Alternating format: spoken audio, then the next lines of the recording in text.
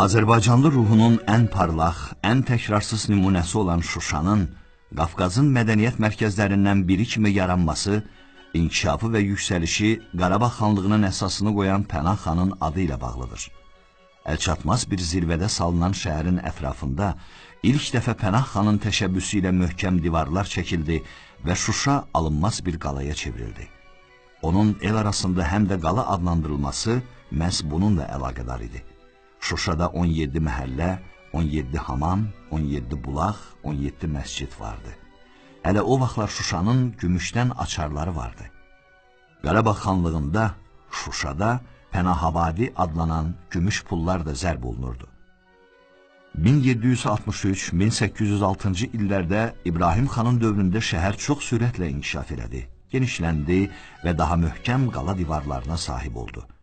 Ancaq bu möhtəşəm qala divarları da İbrahim xanı, Şuşanı və bütövlükdə Qarabağ xanlığını gələcək bəlalardan və təhlükələrdən qoruya bilmədi.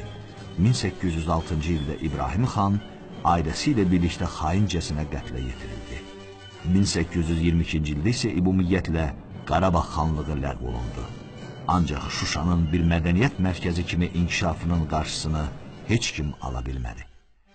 Yüzlərlə, minlərlə yetirməsi olan Şuşa məktəblərinin sayı da, sambalı da dünyaya bəxş etdiyi ziyalıları ilə ölçülməkdədir.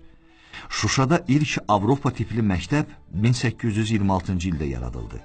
Onun ardınca 1830-cu ildə Qaza məktəbi, 1874-cü ildə Şəhər məktəbi və 1896-cı ildə isə Nikolayevski Rus Tatar məktəbi fəaliyyətə başladı. Bu məktəblərdə Moskva, Peterburg, hətta Berlin, Paris universitetlərini bitirən müəllimlər dərs deyirdi.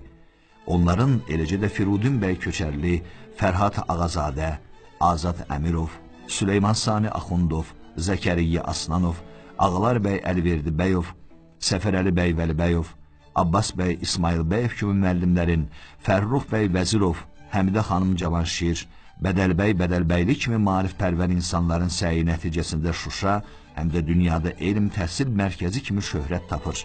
Orada böyük xəttatlar, astronomlar, memarlar, həkimlər nəsli formalaşırdı. Həkimlərdən Əbdülkərim bəy Mehmandarov, Bəşir Axundov, Şəmsi Behbudov və Qızbəs Əsədova, rəssamlardan bugün təsviri sənətdə hadisi sayılan Toğrul Nəriman bəyov, Nadir Əbdülrəhmanov, Altay Hacıyev, məşhur xalçaçı rəssam Lətif Kərimov, heykəltaraşlardan Cəlal Qaryağdı, Hüseyin Əhmədov, Azərbaycan qəzetinin ilk baş redaktorlarından Xəlil İbrahim və Ceyhun Hacıbəyli, Haşim bəy Vəzirov, Difai təşkilatının yaradıcısı, məşhur publisist Əhməd bəy Ağaoğlu, akademiklərdən Səttar Əsədov, Lətif İmanov, Cəmil Quliyev, Kamal Abdullah, Cəlal Allahverdiyev, ilk qadın akademiklərdən Validə Tutayuq, məşhur ədəbiyyatşünas Əkbər Ağayev, rejissor və aktyor Şəmsi Bədəlbəyli, Üzeyir bəy əsərlərinin mahir ifaçılarından Əhməd Ağdamski,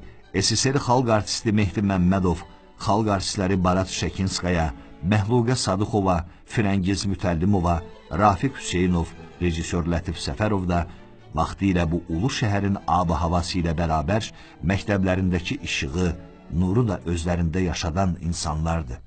19-cu əsrdə təkcə Şuşada yüzlərlə memar, şair, xanəndə, rəqqas vardı.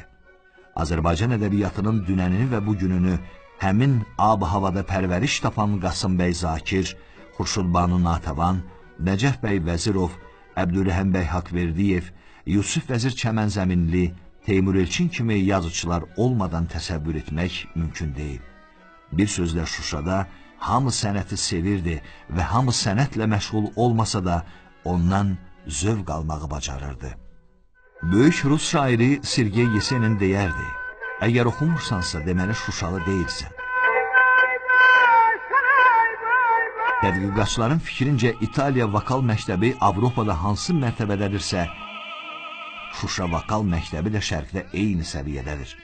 Xanəndələrdən qeyri-adi səs sahibi Cabbar Qaryağdıoğlu, Seygah İslam adı ilə tanınan İslam Abdullayev, Zabul Qasım adını daşıyan Qasım Abdullayev, adı dillər əzbəri olan Bülbülcan, Məşədi İsi, Məşədi Məmməd Fərzəliyev, Seyid Şuşinski, Keçəçi oğlu Məhəmməd, Dəli İsmail, Mirzə Muxtar, Xan Şuşinski və Məcid Behbudov, aşıqlardan Abbasqulu və Nəcəfqulu, ifaçılardan Sadıqcan, Qurban Pirimov, Məşədi Cəmil Əmirov, dünya şöhrətli Çingiz Sadıxov, Sərvər İbrahimov, Fərhad Bədəlbəyli, müğənnilərdən Bülbül, Rəşid Behbudov və Polad Bülbüloğlu, musiqi tədqiqatçısı Firudin Şuşinski, Nazim Əliverdibəyev də bu şəhərdən pərvəriş tapan insanlardır.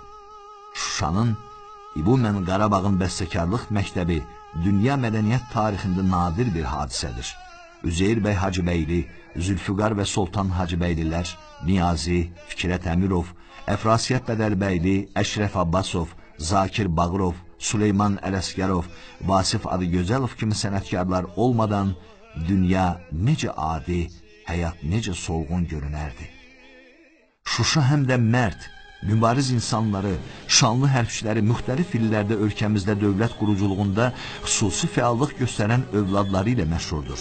Feld Marşal Bəhmən Mirzə, General Leytenant Fərəc bəy Ağayev, Cəfər Qulu xan Cavanşir, General Mayor Əmənullah xan Mirzə, Əmir Kazım Mirzə, Rızaqulu Mirzə Qacar, Fəzlullah Mirzə Qacar, Azərbaycan Demokratik Respublikasının hərbi naziri Səməd bəy Mehmandarov, Qarabağın general qubernatoru Xosrov bəy Sultanov, qardaşı Sultan bəy Paşa bəy oğlu, Kurşudbanu Nativanın həyat yoldaşı general-mayor Xasay xan Usmiyev, general-mayor Yaqub Quliyev, Böyük Vətən müharibəsi qəhrəmanları Aslan Vəzirov, Aslan Qaraşarov, Xanlar Babanlı, Mirzəxan Məmmədov, Aliyə Rüstəmbəyova, Gəray Vəlibəyov, ictimai siyasi xadimlərdən Nəriman bəy Nəriman bəyov, Azərbaycan istiqlalına ilk imza atanlardan Xudatat bəy Məlik Aslanov, Cavad bəy Məlik Yiqanov, Cəmil bəy Vəzirov, Behbud xan Cavanşir, məşhur neftçi Süleyman Vəzirov, Daxili İşlər Nazirləri Əli Kərimov, Xəlil Məmmədov,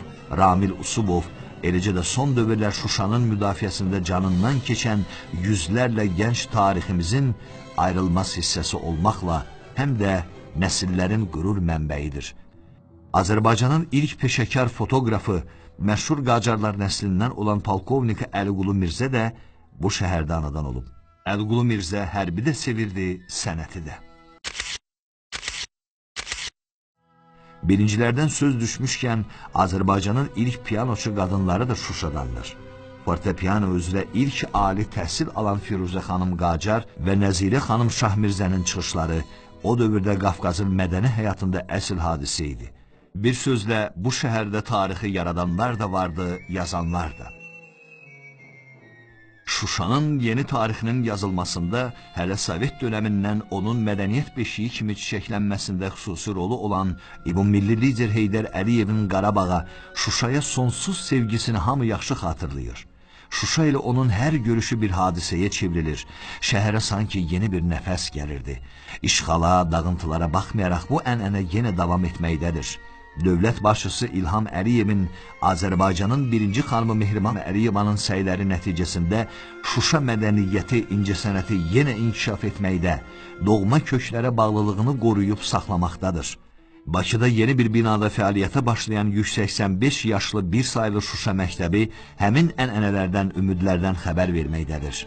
Artıq Avropanın mədəni siyasi mərkəzlərində Şuşanın, Qarabağın haq səsi daha tez-tez eşidilməkdədir.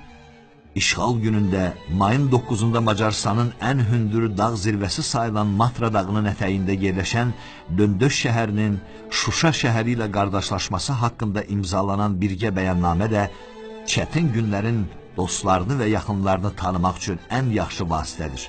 İlk addım kimi hər il döndüşdə keçirilən Beynəlxalq Folklor Festivalında Şuşa günü keçirilib və burada Qarabağlı uşaqların hamının riqqətə gətirən çıxışları beynəlxalq festivalların qalibi olan Təbəssüm rəqs ansamblının zəngin repertuarı Şuşanın, bu qədim yurdun harayını və dəyişməyən tarixini bütün dünyaya bir daha bəyan etdi. Bu, tarixinə sığmayan bir yurdun, bir şəhərin, onun minlərlə övladının harayıdır, səsidir. Sizcə onu eşitməmək, o səsə, o çağırışa getməmək mümkünmü? Bu şəhər indi də hər bir Azərbaycanlı üçün qürur və fəxarət mənbəyidir. Paytaxt Bakıdan 400 kilometr məsafədə olsa da, yenə hər birimizin vuran nəbzində, döyünən ürəyindədir. Həmişə olduğu kimi yenə Qarabağın və Azərbaycanın azadlıq, toxunulmazlıq və sədaqət rəmzidir. Millət vəkili UNESCO və İSESCO-nun xoşməramlı səfiri Mehriban xanım Əliyevanın dediyi kimi, dünyada bir çox şəhərlər var ki, onları müəyyən mədəni və siyasi səbəblərdən rəmzə çevriliblər. Onların adını dilə gətirmək kifayətdir ki, hər birimizin yaddaşında o şəhərin obrazı yaransın. Hər bir Azərbaycanlı üçün belə şəhər Şuşadır. O həm də bizim torpaqlarımızın işğalının rəmzidir. Nə qədər ki, Şuşa erməni silahlı qüvvələrinin işğalı altındadır, hər birimiz Şuşalıyıq. Nə sabah, nə 10 ildən sonra, nə 50 ildən sonra Dağlıq Qarabağ müstəqillik verilməyəcəkdir. Azərbaycanın əzəli torpağı olan Dağlıq Qarabağın Azərbaycandan ayrılmasına razılıq verməyəcəkdir. Biz öz dövlət müstəqilliyimizi möhkəmləndirərək ərazi bütövlüyümüzü bərpa edəcəyik.